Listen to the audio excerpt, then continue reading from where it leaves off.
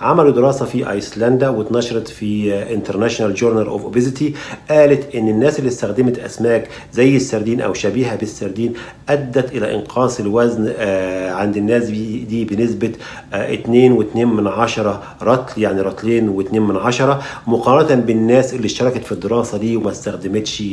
هذه الأسماك زي السردين. لسبب واحد لأن إحنا زي ما قلنا إن السردين غني بكميات عالية جدا من البروتين بكميات عالية من الدهون بتساعد من تقليل امتصاص الكربوهيدرات بتدي الإحساس بالشبع زائد إنها بتنبه جسم لافراز هرمونات الشبع زي ال cholecystokinin زي ال peptide YY زي ال bile acid بتزود إنتاجه. برضو بتزود GLP 1 كل الهرمونات دي أو الإنزيمات دي بتساعد على تقليل الإحساس بالجوع وبتزود الإحساس بالشبع.